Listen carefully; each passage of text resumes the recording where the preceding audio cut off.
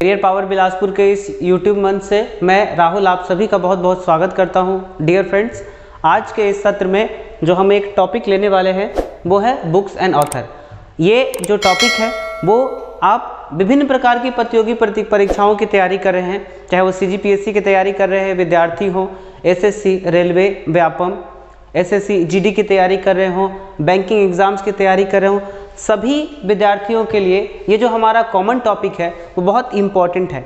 इसमें कई ऐसे बुक्स एंड ऑटो ऑटोबायोग्राफीज़ हैं, जो किताबें, पुस्तकें, रचना एवं रचनाकार और जो आत्मकथाएँ हैं, वो आत्मकथाएँ एग्ज़ाम में परपेचुअली पूछी जाती हैं और स्टूडेंट के लिए ये बहुत कंफ्यूजिंग सा सेक्शन रहता है। तो मैं आपके सामने आज 50 से भी अधिक ऐसे बुक्स एंड ऑथर की एक लिस्ट लेके आया हूँ। और ये जो ऑथेंटिक कंटेंट है, आपको कैरियर पावर बिलासपुर के यूट्यूब मंच के अलावा शायद ही कहीं ऐसी आपको कंटेंट एक छोटे से वीडियो में मिले तो आप सब हमारे इस चैनल के साथ जुड़े रहिए और ज़्यादा से ज़्यादा इस हमारे कंटेंट्स को like share and subscribe video को ज़रूर कीजिए and please place press the bell icon so that you can get latest notification about any update from our institution.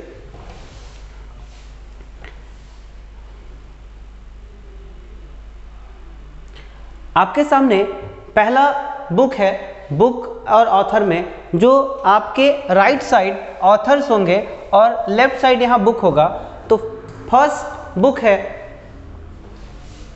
Unhappy India ये पुस्तक लिखी गई लाला लाजपत राय। लाला लाजपत राय को लोग प्रेम से, इज़्ज़त से पंजाब केसरी कहते थे। लाल बाल पाल के नाम से लाला लाजपत राय बहुत फ़ेमस हुए। ये उग्रवादी क्रांतिकारी नेता के रूप में प्रचलित हुए, एक एक्सट्रीमिस्ट लीडर लीडर के रूप में प्रचलित हुए वेस्टर्न इंडिया से। बाल गंगाधर तिलक फ़ेमस हुए महाराष्ट्र के, बॉम्बे के क्षेत्र से और बिपिन चंद्रपाल बंगाल के क्षेत्र से। तो इनके टाइम से स्टार्ट हुआ extremist phase of Indian national movement का। तो उस जमाने में इंडिया की जो स्थिति थी, वो बहुत ज़्यादा खुशहाल एक देश नहीं था तो अनहैप्पी इंडिया के नाम से उन्होंने एक पुस्तक लिखी। दूसरे पुस्तक है महात्मा जी, महात्मा गांधी, जो अहिंसा एवं सत्य के पुजारी थे। उनकी पुस्तक का नाम है माई एक्सपेरिमेंट्स विथ ट्रूथ सत्य से मेरा साक्षात्कार। राहिम मासूम रजा की बड़ी ही खूबसूरत, प्यारी रचना है। आधा गाँव राही, आधा गाँव राही राही मासूम रजा की रचना है। फोर्थ राइटर है मोहन राकेश, इनका रचना है आधे अधूरे। नारायण मूर्ति देश के जाने माने फिलंथ्रोपिस्ट है और जाने माने दानदाता और इन्फोसिस के फाउंडर चेयरमैन है नारायण मूर्ति और उनकी धर्म पत्नी जी। तो उन्होंने एक पुस्तक लिखी है a better India a better world एक बेहतर भारत, बेहतर विश्व के लिए बहुत ही महत्वपूर्ण है और इनका ये जो पुस्तक है one of the best seller है। नंदन नीलेकानी जिनकी पुस्तक का नाम है इमेजिनिंग इंडिया भारत के बारे में हम एक कल्पना करते हैं और आने वाले कल्पना का हमारा जो भारत है, वो बहुत ही बेहतरीन, बेमिसाल भारत बनेगा और भारत ऊर्जा एवं संभावनाओं से भरपूर ये देश है। नंदन नीलकानी की रचना इमेजिनिंग इंडिया है। नरेंद्र मोदी, भारत के माननीय प्रधानमंत्री नरेंद्र मोदी की रचना है ज्योतिपुंज और उन्होंने एक और पुस्तक लिखी है the exam warrior eighth number जो है कुरतुलून हैदर कुरतुलून हैदर की रचना है आग का दरिया. ये टिपिकल उर्दू और हिंदी का दोनों का जो मिश्रण है, उसमें लिखी गई एक पुस्तक है, आग का दरिया कुरतुलून हैदर के द्वारा. भारत के पूर्व प्रधानमंत्री पीवी नरसिम्हा राव के द्वारा लिखी गई रचना का नाम है अयोध्या। मर्यादा पुरुषोत्तम की जन्मस्थली अयोध्या के विषय में मर पीवी नरसिम्हा राव जी लिखे थे और इंडिया के टर्बुलेंट फ़ेज़ में जब इंडिया अपने क्रूशियल जंक्चर पे खड़ा था, उस समय भारत के प्रधानमंत्री थे पीवी नरसिम्हा राव जब ये बाबरी विध्वंस हुआ, उस बाबरी विध्वंस के समय में भी उस समय पीवी नरसिम्हा राव जी ही भारत के प्रधानमंत्री थे। जब 1991 में इंडिया में न्यू इकोनॉमिक पॉलिसी आई, उस समय भी भारत के प्रधानमंत्री पीवन, पीवी नरसिम्हा राव जी थे।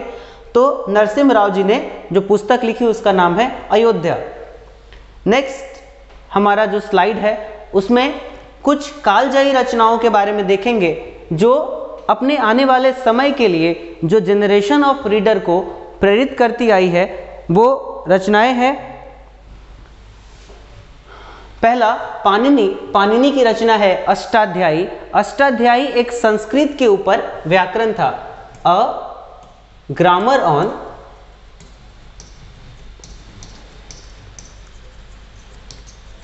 तो अष्टाध्यायी एक महान रचनाकार थे, महान विद्वान थे संस्कृत के। उन्होंने संस्कृत भाषा को शुद्ध रूप में समझने के लिए उसका व्याकरण लिखा। इलेवन नंबर जो हमारे ऑथर हैं रोचंद्र दत्त, वो पश्चिम बंगाल से मॉडर्न डे पश्चिम बंगाल से संबंधित है और भारत के परतंत्रता के फ़ेज़ में उन्होंने किताब लिखी an economic history of India Bharat का आर्थिक इतिहास। रोमेश चंद्र दत्त और दादा भाई नौरोजी, ये दो ऐसे राइटर थे जिन्होंने बताया कि ड्रेन ऑफ़ वेल्थ किस तरह से भारत से इंग्लिश मैन ने यहाँ से लेकर और अपनी इकोनॉमी को मदर कंट्री को बूस्ट किया और इंडिया जो कोलोनाइज कंट्री थी, उसको डिप्राइव किया। कैसे हमारे देश का जो वेल्थ है धीरे धीरे तो वो चला गया। तो इन्होंने उस पैटर्न को समझा और पहली बार उसको इतनी बड़ी किताब में उन्होंने लिखा है। तो बहुत बेहतरीन किताब है, जो ग्रेजुएशन में विभिन्न विश्वविद्यालयों में ये बुक इंग्लिश लिटरेचर में पढ़ाई जाती है। आर के नारायण की रचना है द गाइड माई डेज़ मेरे गुजरे दिन गाइड मतलब मार्गदर्शक कवि गुरु रविंद्रनाथ टैगोर की रचना है चित्रा घरे बहरे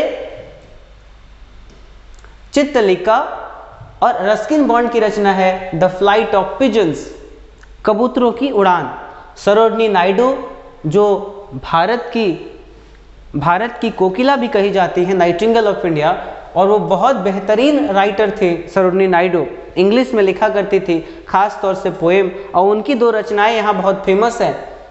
ब्रोकन विंग्स टूटे पंख और गोल्डन थ्रेशोल्ड यानी स्वर्णिम सीमा। और उस जमाने की ये राइटर थी, जिस समय भारत परतंत्रता की बेड़ियों से जुड़ा जकड़ा हुआ था। बंगाल के तीन महान राइटर में से एक राइटर शरत चंद्र चटर्जी। शरत चंद्र चटर्जी की रचना है देवदास। बंगाल के दो बड़े और राइटर थे। एक राइटर का नाम हमने अभी देखा है, आर एन टैगोर साहब, और एक और राइटर थे, आनंद मठ के रचनाकार Bankim Chandra Chattopadhyay.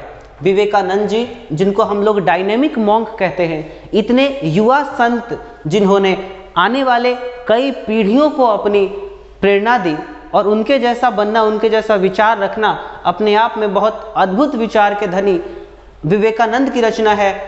Inspired talks sleeping giants and way of the saint यानी संत की संत की राह, संत के मार्ग।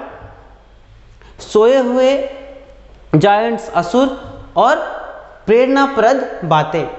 सलीम अली, जो भारत के जाने माने बर्ड वॉचर और ऑर्निथोलॉजिस्ट थे, सलीम अली के नाम पर जम्मू एंड कश्मीर में सलीम अली बर्ड सेंचुरी उनके सम्मान में रखा गया है और उन्होंने पुस्तक लिखी है the books of Indian birds जिसमें उन्होंने विभिन्न प्रकार के पक्षियों का उल्लेख किया है। दोस्तों, आपके साथ कुछ और महत्वपूर्ण पुस्तकों की सूची लेकर मैं हाजिर हूँ। तो डॉक्टर सर्वपल्ली राधाकृष्णन, जो भारत के प्रथम उपराष्ट्रपति एवं भारत के दूसरे राष्ट्रपति बने, जो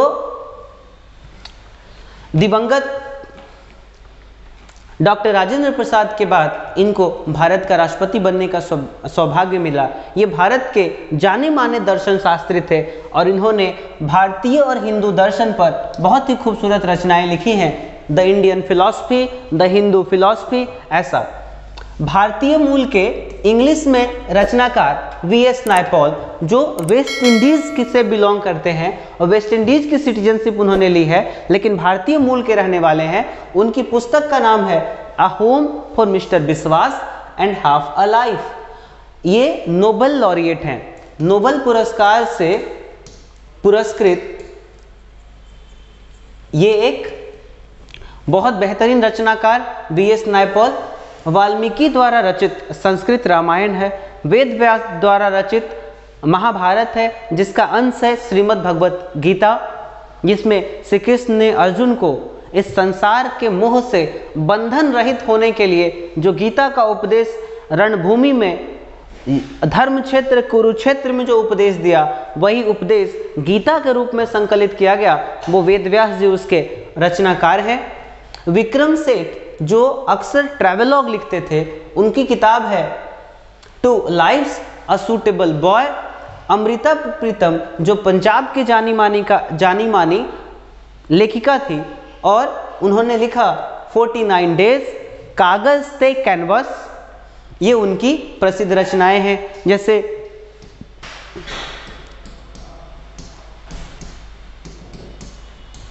कागज़ थे कैनवस पिंजर, ये अमृता प्रीतम जी की रचना है। अनीता देसाई जी की रचना है। फास्टिंग, फेस्टिंग, उपवास करना, दावत पूरा खाना।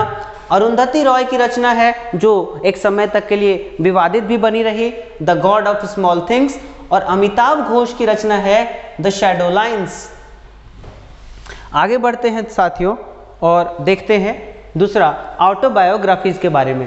पहली ऑटोबायोग्राफी जो स्क्रीन पर देख रहे हैं आप वो अमेरिका के पूर्व भूतपूर्व राष्ट्रपति बराक ओबामा की इंटरप्रेन्योर और स्वतंत्र रूप से अपनी पहचान रखने वाली मिशेल ओबामा की आत्मकथा है बिकमिंग। भारत के प्रसिद्ध और भारत के सबसे पॉपुलर राष्ट्रपति रहे और मिसाइल मैन ऑफ़ इंडिया के नाम से जो बाद में जाने गए। एपीजे अब्दुल पाकिर, जैनुल अब्दुल कलाम जी, उनकी ढेरों रचनाएँ हैं। उन रचनाओं में से एक प्रसिद्ध रचना है, Agnipankh wings of fire Barack Obama, America के भूतपूर्व राष्ट्रपति की रचना है ड्रीम्स फ्रॉम माय फादर क्योंकि वो मार्टिन लूथर किंग जूनियर के बेटे थे बराक ओबामा। इसलिए उन्होंने अपने पिता के विषय में बहुत ग्लोरीफाइंग वर्ड्स कहे हैं। अनुपम खेर, एक प्रसिद्ध भारतीय फ़िल्म अभिनेता जिन्होंने एक फ़िल्म में काम किया एन एक्सीडेंटल प्राइम मिनिस्टर जो मनमोहन सिंह जी की जीवनी पर आधारित एक फ़िल्म थी, इसका पूरा प्लॉट मनमोहन सिंह के जीवन पर था तो उन्होंने एक पुस्तक लिखी, अनुपम खेर जी ने lessons life taught to me जी, मेरे ज़िंदगी ने, मेरे जीवन ने जो मुझे सबक सिखाया, वो भारत के प्रथम प्रधानमंत्री पंडित जवाहरलाल नेहरू की रचना है एन ऑटोबायोग्राफी एकात्म कथा, स्वतंत्रता की ओर। One of the most revered and most well known prime minister of Britain Margaret Thatcher की रचना है सिंपल ऑटोबायोग्राफी है, और उनका बायोग्राफी का नाम है ऑटोबायोग्राफी अमेरिका के जाने माने अमेरिकी स्वतंत्रता संग्राम में और अमेरिकी स्वतंत्रता संग्राम में अग्रणी भूमिका निभाने वाले एक प्रसिद्ध फिलोसफर और एक पॉलिटिकल साइंस के महत्वपूर्ण जानकार थॉमस जेफरसन की ऑटोबायोग्राफी है। ऑटोबायोग्राफी 1743 टू 1790 राजेंद्र प्रसाद जी की आत्मकथा है।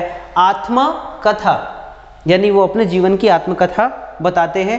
डॉक्टर मनमोहन सिंह की रचना है चेंजिंग इंडिया मनमोहन सिंह जी 10 साल, दो टर्म में भारत के प्रधानमंत्री बने। 2004 से लेकर 2014 तक डॉक्टर मनमोहन सिंह जी प्रधानमंत्री रहे, उससे पहले वो फाइनेंस मिनिस्टर थे, फिर कभी फाइनेंस सेक्रेटरी थे तो अलग अलग पदों को सुशोभित करने वाले देश के प्रख्यात अर्थशास्त्री मनमोहन सिंह जी की आत्मकथा है चेंजिंग इंडिया और ये हम लास्ट स्लाइड आज के डेट की पढ़ रहे हैं। अमेरिका के पूर्व राष्ट्रपति रोनाल्ड रीगन की आत्मकथा है an American life Nelson Mandela, जिसने साउथ अफ्रीका को इतने सदियों चले अपार्थेड यानी रंगभेद की नीति से मुक्ति दिलाने में और साउथ अफ्रीका के फ़र्स्ट डेमोक्रेटिकली इलेक्टेड गवर्नमेंट के फ़र्स्ट प्रेसिडेंट बनने वाले नेल्सन मंडेला, जो गांधी की ही तरह अहिंसा के पुजारी थे और इनको अफ्रीकन गांधी कहा जाता है, उनकी रचना का नाम है a long walk to freedom आज़ादी की ओर एक लंबी यात्रा, विंस्टन चर्चिल, जो सेकेंड वर्ल्ड वार के दौरान ब्रिटेन का प्रधानमंत्री था और उसने उसकी रचना है memoirs of second world war, द्वितीय विश्व युद्ध के संस्मरण। अर्जन सिंह की रचना है, अर्जन सिंह की आत्मकथा है a grain of sand in the hourglass of time Shashi Kapoor, जो कि कपूर फैमिली से बिलोंग करते हुए करने वाले एक जाने माने फ़िल्म अभिनेता थे उस दौर के 1780s 90s के 1780s के दौर के तो उनकी आत्मकथा है the household the star Lal Krishna Advani ji की रचना है, जो आरएसएस के और जनसंघ के प्रमुख विचारक थे, जिनको हाल ही में भारत रत्न सम्मान मिला है, उनकी रचना है, मेरा देश, मेरा जीवन। हिटलर की आत्मकथा का नाम है, मीन काम्प मेरा स्ट्रगल, मेरा संघर्ष। बाबर की आत्मकथा है बाबर नामा और अमेरिका के प्रसिद्ध वैज्ञानिक बेंजामिन फ्रैंकलिन की ऑटोबायोग्राफी है एन ऑटोबायोग्राफी ऑफ़ बेंजामिन और लास्ट है दलाई लामा। दलाई लामा की आत्मकथा का नाम है फ्रीडम इन एग्जाइल आप सबों के साथ जुड़कर बहुत अच्छा लगा। ऐसे ही इंटरेस्टिंग वीडियोस के लिए stay tuned with us thanks for joining we will meet with some interesting topic with you till then stay along with us thanks for joining